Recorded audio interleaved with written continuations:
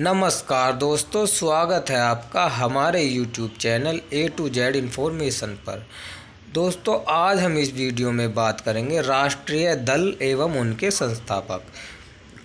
तो चलिए देखते हैं, पहला क्वेश्चन है, कांग्रेस के संस्थापक कौन थे? तो कांग्रेस के संस्थापक थे ए ओ ह्रूम कांग्रेस की स्थापना हुई थी सन अट्ठारह में।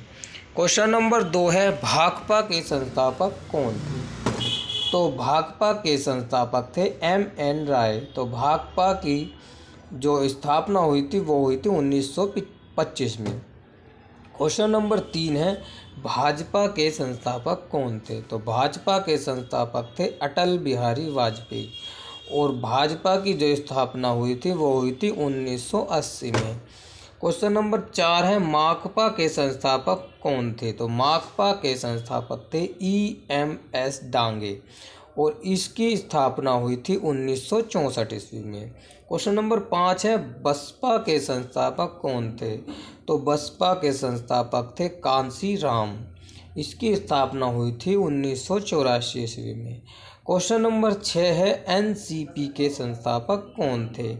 तो एनसीपी के संस्थापक थे शरद पवार और एनसीपी की स्थापना हुई थी उन्नीस सौ निन्यानवे ईस्वी में।